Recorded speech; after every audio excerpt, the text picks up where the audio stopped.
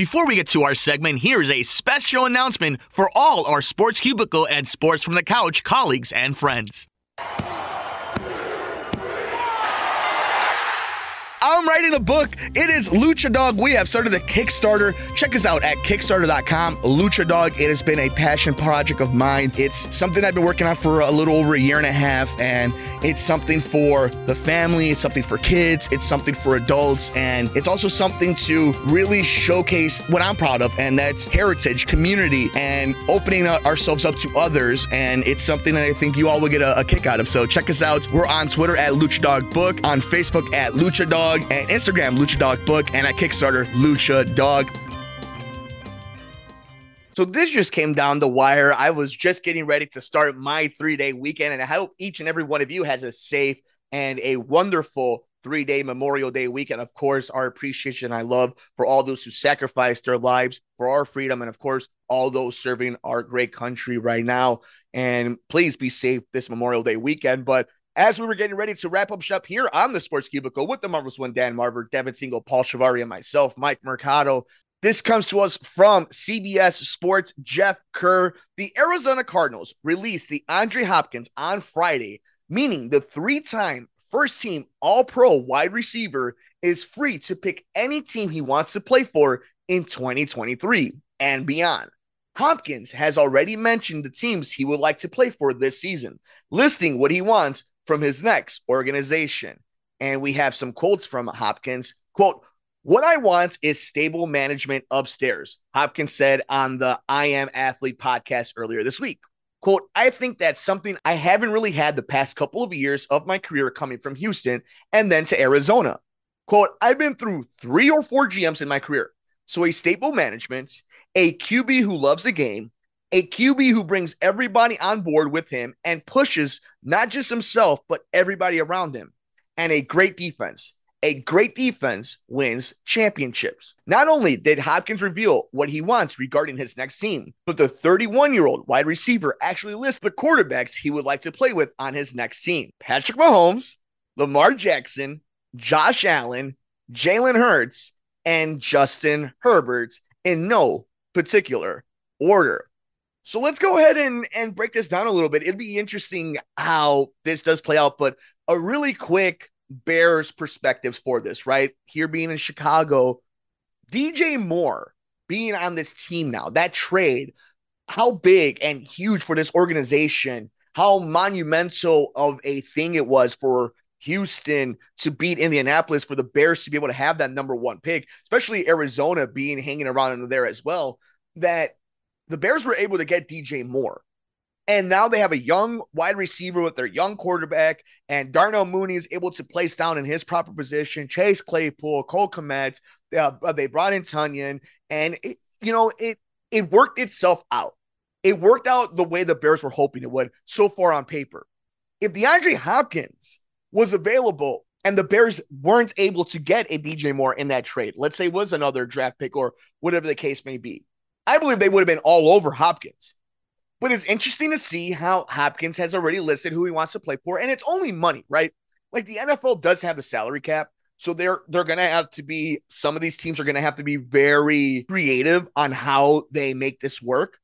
But of course, Patrick Mahomes and the Chiefs makes all the sense of the world for a 31 year old who's had a great career, a way to solidify himself and be part of an offense that doesn't really just ask for him to be the star. It's just another weapon to add to that. Same thing with a Philadelphia Eagles. Like imagine him right next to AJ Brown and DeVonta Smith.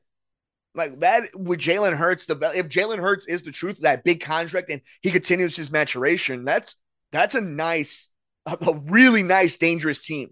And kind of has the formula of, well, if they're in their window, this is for them to strike. This is that moment especially if you've invested so much in your quarterback, why not just add him another weapon?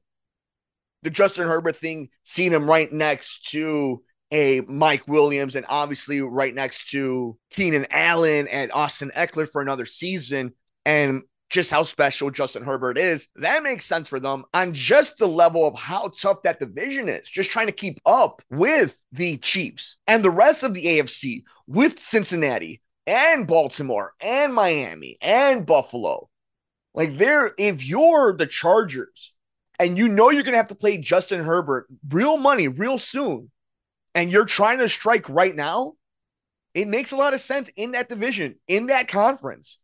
Same thing with Josh Allen. Steph Diggs and DeAndre Hopkins with Josh Allen would be something special, especially knowing how stagnant that Bills offense looked towards the end of the season. And Lamar just giving him another weapon with that new contract. You have Odell Beckham, like that would make sense. And you talk about keeping up. Like as much as the Chargers need to keep up, you're going against the Bengals. Ja'Marr Chase is special, and I think Tee Higgins is really good. But Joe Burrow is going to make a lot of wide receivers look good. So if you're Baltimore and you just invested all this money on Lamar Jackson, it only makes sense that you're in win now and you're bringing in these veterans. So it's fascinating to see. And it's also fascinating to see that Arizona is out this season. Kyler Murray will not play this coming up season. The Arizona Cardinals are going to be all in on the number one pick. They're probably going to be in on Caleb Williams, or at the very least, just trying to get a haul in for that number one pick. But you talk about aborts and and ring the alarms, and this is going to be a two three win team. Arizona is going to be bad. They couldn't figure out a trade option for DeAndre Hopkins. They couldn't come up with anything. They just had to straight up release him. You talk about bad management. You talk about it not working out, how wonderful it was as Bears fans to see this organization be on the right end of things when it came to draft picks and trades and free agency. This has not been the case for Arizona. So DeAndre Hopkins kind of has his choice, and we'll see if Dallas ends up being in the mix with it. We'll see if Green Bay ends up being in the mix with it. We'll see if the Jets. There's going to be plenty of teams in the next few weeks who are going to be head over heels and salivating over the idea of bringing in DeAndre Hopkins. We want to know your thoughts. Where do you think Hopkins ends up? Let us know. We're on Twitter at Sports Cubicle TV. Make sure you leave a comment over on the YouTube channel at the Sports Cubicle and wherever else you get your favorite podcast at Sports from the Couch. Check out our friends over at Sheets and Giggles. You think DeAndre Hopkins is clutch? Check out the people and the amazing inventory of goodies that are over at Sheets and Giggles and use the promo code the Sports Cubicle, Sports from the Couch, for 15% off your next purchase. And of course, thank you all so much for the love of Lucha Dog. Check out our Kickstarter at Kickstarter Lucha Dog. We are getting so much love and support, and we are inching our way to our goal. And we hope that you get your hands on an edition of Lucha Dog very soon. And we'll keep it right here if any other major NFL news drops during the holiday season. For the marvelous one, Dan Marver, for Devin Tingle, for Paul Chivari, I'm Mike Mercado.